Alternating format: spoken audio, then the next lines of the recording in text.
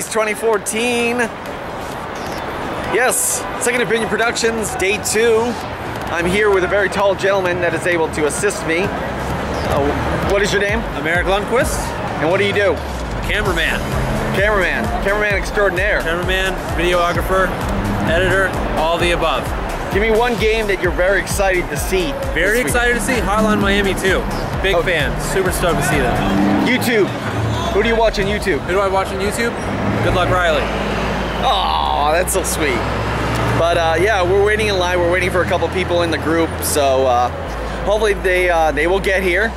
It's just about time. It's about two minutes, no, three, three minutes before they actually open up the situation, and we're still in the line before the line. So, but we will get there eventually.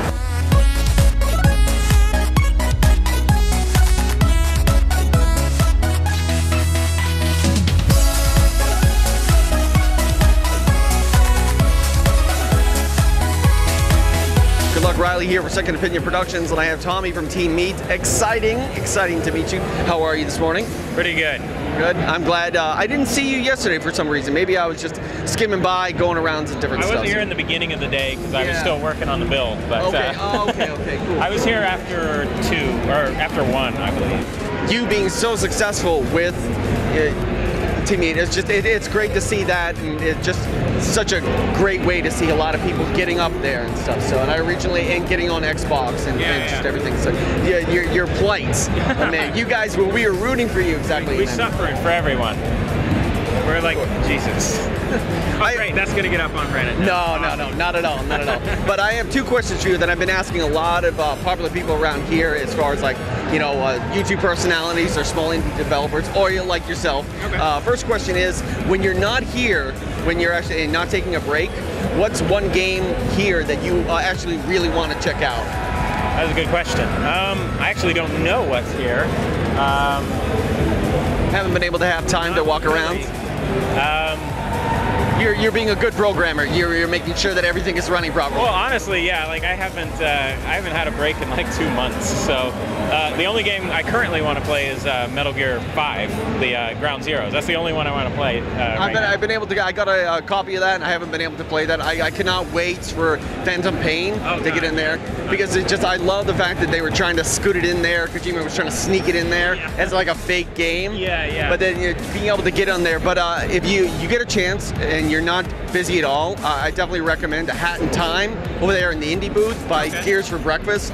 Um, it, it's kind of like Banjo Kazooie, Super Mario. It's kind of like a female Wind Waker. Same art style. A lot of fun. They're doing it like a co-op thing over there. so, okay. and uh, the second question is. Um, when you're not busy at home and stuff like that, and you want to pass the time, a lot of people go on YouTube, subscribe to people, watch people, a lot of videos. Wh- What's one person that you've seen on the YouTube, like, are you're a fan of? Um, as far as YouTube, I don't really watch many people on YouTube. I watch people on Twitch though. Okay, no, that's perfect because um, I know that I interviewed Man vs. Game yesterday, and Yeah, he's very. Oh, I, I love love, him. Oh my God, he was he stepped out of the VIP area to actually answer some of my questions over at the Twitch booth. So Yeah. I was so happy, and he told me that like since he's not on YouTube, Mm-hmm. he, he primarily like what people on Twitch you watch. Like I I personally watch him, um, um, Lethal Frag. Yeah, Lethal um, Frag Yeah, yeah. video games. Uh, video games awesome. I know Fraser Agar's Yeah. around here, so like what's another one that we haven't mentioned? Well, I um, I tend to watch speedrunners a lot. Like I, I really love speedrunners. Uh, Cosmo, he runs uh, Wind Waker and Ocarina of Time. I, I love watching those, and it's great just when you're working. Like on certain things, when you're working, you can have nice background noise, and Zelda sounds are like really great background noise. So uh, there's him. Uh, Joshy Muzz or Munz or something. He runs uh, GTA San Andreas, and like I, I don't know. It's just something about it. It's just like great background There was a really good charity event that were going for speed runs, and the coolest speed run I ever saw was two guys. I don't know how they did it, but they split the Super uh, the Nintendo 64 controller into one. One was controlling the movement, the other one was controlling the guns. Was that at SGDQ this year?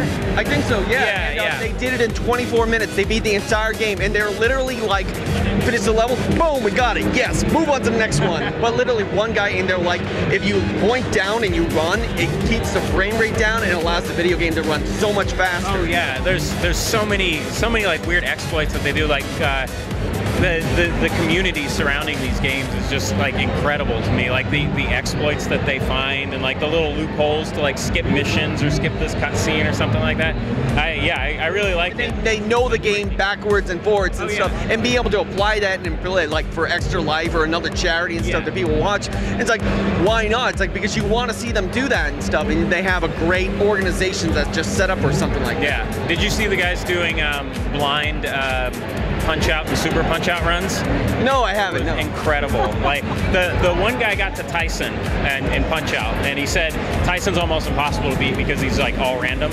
Um, the other guy actually beat Super Punch Out all the way through blindfolded. It was so insane. It was. Wasn't there like a trick with like Mike Tyson's eyes if he blank Yeah, it blinks? like yeah. winked, but uh, there's like certain. He was explaining it because they know the games like backwards and forwards. He's like, there's a certain amount of timing that's like random in between them. So like, it's it's not like you can actually telegraph or actually know in your head the pattern because it's like slightly off here and there. It's so insane. Yeah, I, I really get a kick out of watching that kind of Oh, stuff. it, it, like it's so funny because I, uh, in the last couple of years, I just got really involved in that, Yeah. because we, we we stream on our page, where we try to do like you know, it was a good steady schedule about like six days a week and stuff, where I was doing a lot of indie games. Uh, one one game that I, I was able to do, and I got to meet the creators finally, was Jazzpunk. Okay. I, I loved it. That game was so much fun. And it's like, you know, and it was made by two guys. Yeah. One programmer and one guy who made all the music on his synthesizers. That's pretty crazy. Very cool. Well, uh, thank you very much. No problem. It, it was a pleasure. So go team me. Thank you very much. Excellent.